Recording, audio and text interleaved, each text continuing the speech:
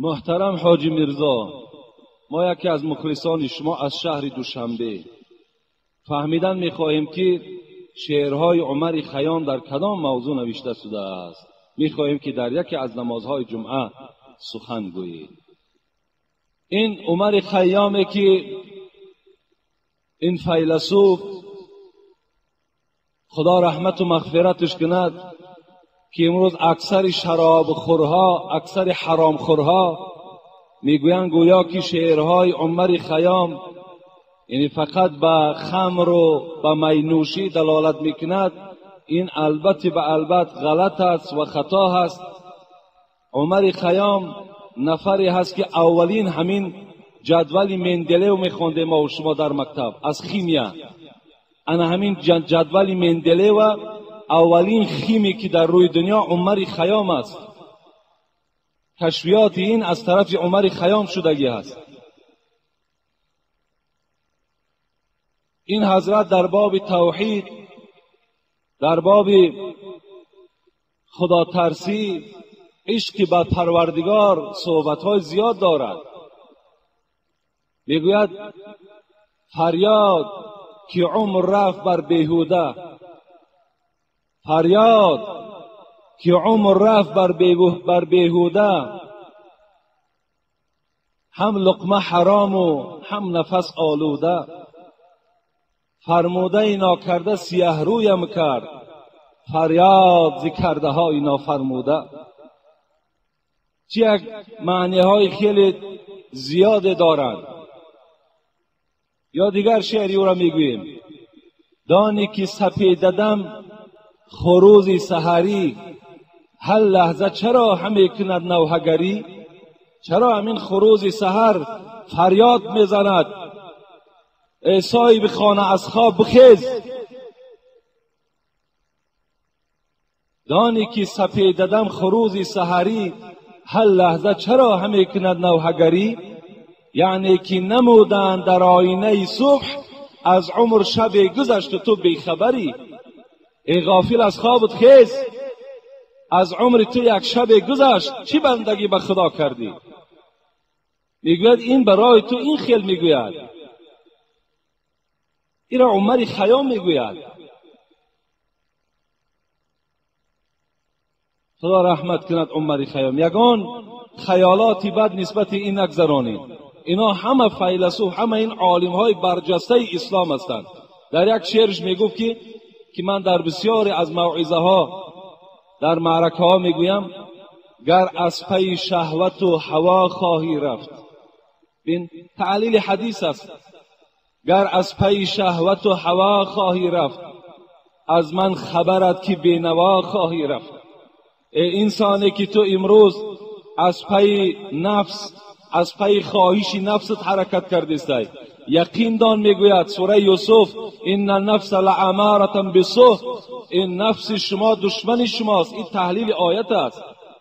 گر از پی شهوت و هوا خواهی رفت از من خبرت که بینوا خواهی رفت. بینگر حضرت می‌گوید همه شما در خطاب دارد. بینگر چی کسی و از کجا آمده ای؟ میدان که چی می‌کنی؟ کجا خواهی رفت؟ از کجا آمدی؟ از کجا آمدی؟ و برای چی آمدی؟ و چی کار کرده ایستاده ای و کجا می روی این چهار چیز تحلیل کو می‌گوید ببین همه شعرها شعرهایی هست که فقط به سوی دعوت حقیقت به سوی دعوت راست ما و شما را دعوت کردن. از این خاطر هر یک مسئله هایی که بهر شما جواب میگردانیم یعنی هر کدام این از روی حقیقتی هست قطع نظر به یگان اطراف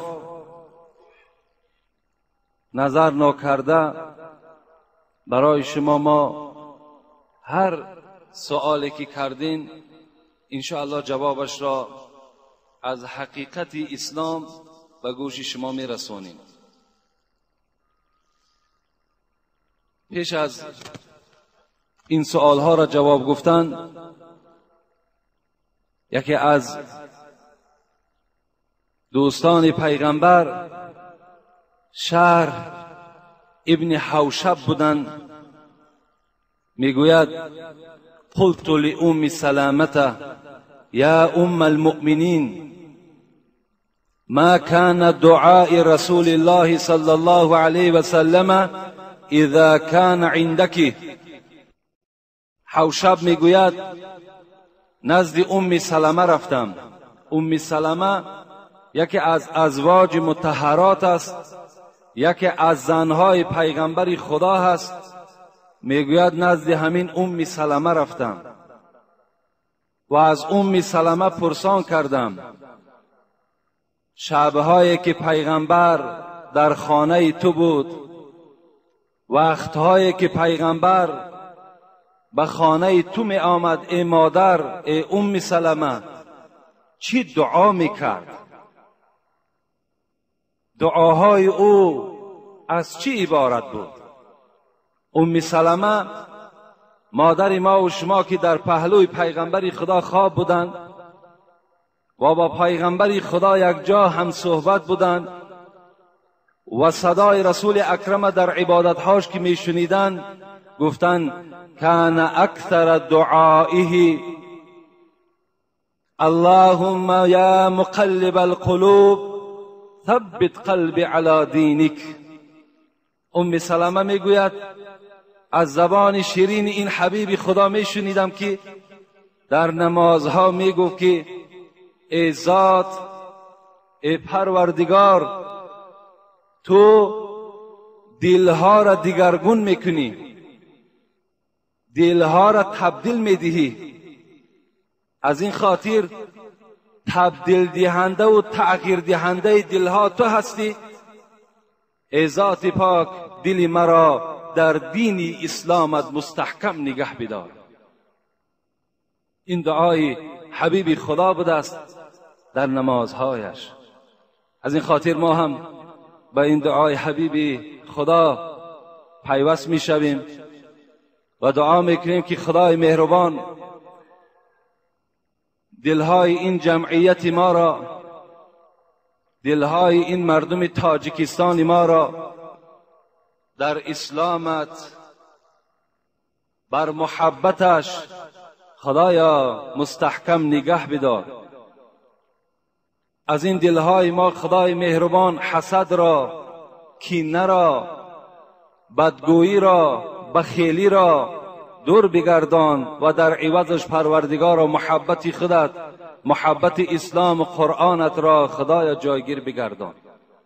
و خدای مهربان این بندگانی که از راه های دور و نزدیک برای ادا کردن نماز جمعه حاضر شدند در هر قدمشان خدای مهربان حسنات کتابت بفرما و گناهاشون خدایا محو بگردان. و خدایا گذشتگان این قوم و جمع ما را رحمت و مغفرت بگردان. بیماری های این قوم و جمع خدایا شفای کامل و شفای عاجل نصیب بگردان. مسافرهایی که از این دیار ما در سفر هستند. خدایا صحت و سلامت با مرادهای حاصل شده به خاندانشان پس بگردان. و خدایا این جمهوری ما را در, در بین تمام دنیا از جهت فرهنگ و از جهت اسلام و از جهت اقتصاد خدایا شهرتمند بگردان. و این رهبران دولت ما را خدایا توفیقشان را رفیق بگردان. عمرشان را دراز بگردان. هر عملهای نیکی که برای آبادانی تاجیکستان دارند خدای مهربان موفقشان بگردان. آمین یا رب العالمین. الحمدلله که با شما در باب نماز و به نماز صحبت ها داشتم. و الله باوری کامل هم دارم که این صحبت ها به تأثیر نمی ماند و هر یک شخصیتی که سخن خدا و پیغمبر را می شنود وظیفدار است که این سخنها را برده در خانه خود عملی بگرداند. الله بعدا اجر او پیدا می شود